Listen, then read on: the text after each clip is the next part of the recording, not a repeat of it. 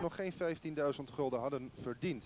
2000 meter is de afstand geschrapt, is paard nummer 12 Ironie B. En als lichtfavoriet aan de totalisator vertrekt paard nummer 2 Intercity West gereden door Jos Oorthuizen. Paardenzoek aansluiting bij de startauto. Als eerste doet dat uh, paard nummer 5 Kanjo Norton met een gastrit voor Peter Stroper.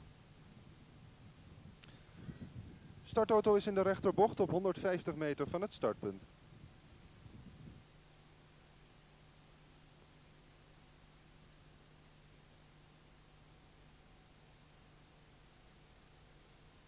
Honderd meter nog.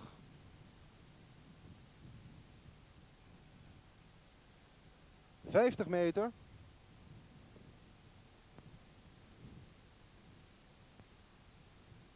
En de start van de aprilstreeks is gevallen 2000 meter afstand en de koers begint dramatisch voor Intercity West, de favoriet van het gezelschap. Die keerde om nog voor het startpunt. We gaan de koers dus vervolgen met 11 deelnemers en op weg naar de eerste bocht is het Canjo Norton die de leiding neemt voor op de tweede plaats daarachter Coral Price. Derde aan de buitenzijde is het Joris S. De binnenzijde daarachter is voor Im Rosway. En dat zijn de voorste paarden bij het uh, ongeveer halverwege de linkerbocht. Waarbij nog altijd Canyon Norton leidt. Heeft een lengtevoorsprong voor op de tweede plaats Coral Price. Derde aan de buitenzijde is Joris S. Dan is het Crackboy F. Die ligt in het tweede spoor ten opzichte van uh, de aan de binnenzijde opererende Im Rosway.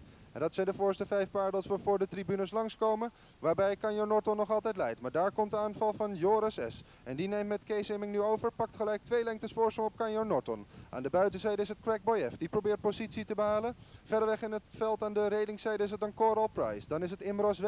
Dicht daarbij is het Interwesteinde voor Kid of Flora. Dan is het Kairos Jet met King Cray, Driedik, IMA 13. En op de laatste plaats met aansluiting is het Ernesto Grollo. Zo hebben we het finishpunt gepasseerd. Gaan we een ronde afleggen en dat doen we met een nieuwe leider. En die nieuwe leider is Crackboy F met Frans van der Blonk. Hij heeft een lengtevoorsprong op Joris S. Een gaatje valt er van een lengte of twee naar het derde paard. Dat is nog altijd Kanjor Norton. Buitenzijde opkomend IMA 13. Dan is het Coral Prize dichter bij Imros W. Die wordt geflankeerd door stalgenoot Inter Westeinde. Binnenzijde daarachter Kid of Flora. Buitenzijde Kairos Jet en het laatste tweetal onveranderd Ernesto Grollo samen met King Gray. Halverwege de rechterlijn overzijde is het nog altijd Crackboy die leidt. Met een lengtevoorsprong voor op de tweede plaats Joris S. Buitenzijde IMA 13. Dan is het uh, Kanjor Norton. Aan de buitenzijde nu een aanval van Kairos Jet met Jeroen Engwerda. En die gaat op weg naar de laatste bocht de leider onder druk zetten. Maar de leider is als eerste in de laatste bocht en dat is Crackboy F. Buitenzijde op een halve lengte daarnaast Kairos Jet. De binnenzijde daarachter is voor Kees Hemming met Joris S. Achter Joris S aan de relingzijde is het dan Kanjor Norton. Aan de buitenzijde van Kanjor Norton is het IMA 13. En vanuit de start van het veld wordt nu Driedik naar voren gestuurd door Hans Bot Ernesto Grollo.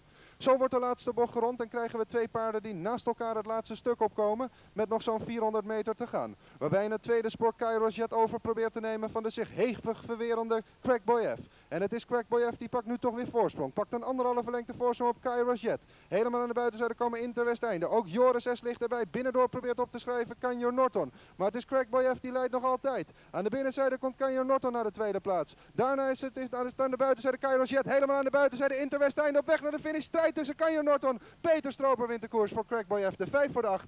En op de derde plaats de 4. Dat is voorlopig.